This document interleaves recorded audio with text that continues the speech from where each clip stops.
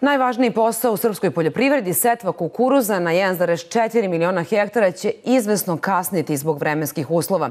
Međutim, po mišljenju stručnjaka još nema razloga za paniku.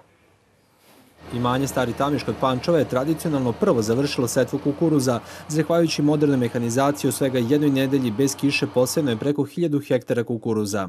U samu setvu mi smo e, krenuli e, prateći temperature zemljišta i naravno i temperature vazduha. E, zemljište je bilo prilično zagrejano, znači krenuli smo sa nekih 9 stepeni da bi to vrlo brzo došlo na 12-13 stepeni i da kažem usevi su vrlo lepo ponikli ovi koji su nikli. U toku je intenzivno prskanje i sutra završavamo setvu kukuruza, odnosno celokupnu setvu sutra završavamo.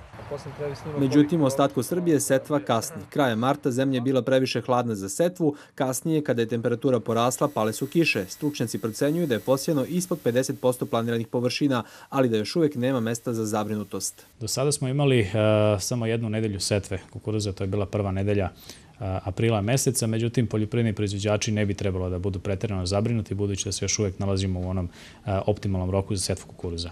Problemi koji mogu da se jave, to su problemi na parcelama koje leže pod vodom, uglavnom u Banatu. Takve parcele nemoguće pripremiti za setvu i morat ćemo obaviti setvu znači, onim kasnim rokovima, znači u maju mesecu. Mada ekonomisti smatruju da je loše što Srbija izvozi toliko zrna kukuruza, a ne gotove proizvode, ipak je to najveći prihod koji poljoprivreda zabeleži u toku godine. Svako umanjenje prinosa i kašenje zbog vremenskih prilika imaće posljedice po devizni bilans zemlje. Blokadom puta Novi Sad Beočin, meštani naselja Bocke, koje je udaljeno svega nekoliko kilometara od Novog Sada, jutro su poručili gradskoj vlasti da je sramota da u 21. veku